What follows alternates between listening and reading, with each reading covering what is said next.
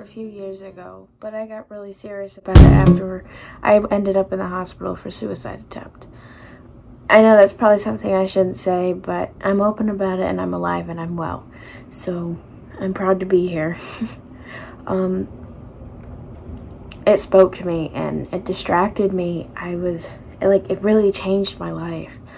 I put myself first and learned that I could put myself in my art. I talk about my feelings, but then I put that into something. And every time I look at one of my pieces, it's like, that's me. I am who I am because of what I went through. But I'm happy and I'm growing, and that's all I could ask for. What does your work aim to say? Who I am as a person and possibly what I've been through.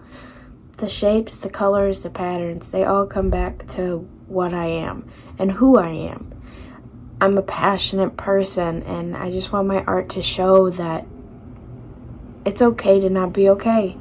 And you gotta go through life and you just gotta live.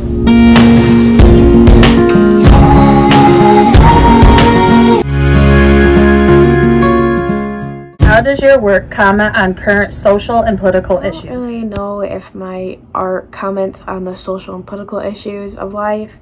Life can be messy, and you can relay that through a painting, of course, but it's something that I don't get into because life, again, is hard, and you shouldn't have to sit there and worry about something that the government can handle. But if you want to show something through your art, it has to be big. It's gonna be, it's gonna mean something, and we all imagine things. We we all have an opinion. Who are your biggest influences? Influences are definitely my family. They have been there since day one, obviously. That's what family's for. But they support every decision I make, they support who I am as a person, and they never judge. And judging is something that I really, really dislike because I have been my whole life. And I think that's something else that really puts me into the art world because, well, you can be yourself. It doesn't matter how crazy you are, or how weird you are. You're loved for what you make and what you could possibly tell through that piece of art. You have a story to tell, and sometimes people really do love to hear that. How have you developed your art making? My art has come so far. Going back to ninth grade, me and Dr. Wales never, never were on the same page. We always butted heads, and then same with 10th grade. But I finally took a break in 11th, and I'm so glad to be back in 12th. and if it weren't for Honestly. him, I wouldn't be where I am today with my art. He has so many uh, ideas and so many good inspirational quotes that he shows. It's so inspiring and so motivating.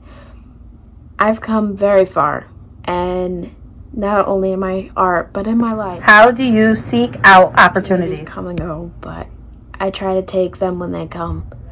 And if I don't, then it's okay because I know sometimes there's more to come. I always try to seek what I could do. How do I further my art career? Do I want to show people? Do I want to put it in a showcase? Do I want to put it online? Do I want people to buy it? It all comes back to how I feel. And how can you display something that means so much to you? But then again, if it means so much to you, you should show it because, again, it tells your story. And your story means something. It's your history, it's your life. Be heard and be happy. How do you cultivate a collector base? participated in the Arts for All, and I've sold quite a bit of my paintings and pieces. I sell to my family, I sell to friends, I sell to people online, I sell to people that actually want to listen to what I have to say about that piece or why I made that piece. I don't want it to just go to someone because they like it. I want them to understand that it does have a meaning. I mean, it doesn't have to have the same meaning to them as it does to me. that's why I made it. It's for me, not them. But if it's something that catches their eye and grabs their attention to say, hey, I want that piece, then it has to mean something more than just what it meant to me. How do you navigate the art world? honest, I do my own thing and I let the work play out. I know who my supporters are and I let the haters keep hating. How do you price your work? price my work on the time that was spent on it. How much money did I spend on the supplies that I needed for it? Um, it depends on what someone's asking for. And honestly, sometimes it doesn't even matter about the money. It's about I'm making somebody happy because I'm giving them what they want. Which current art trends are you following? I don't believe that my art is on trend. I work with what I have, I work with what I got. I use my resources, of course, but it's usually based on what people are asking me for and what they want. And honestly, I don't need to be on a trend to be a good artist.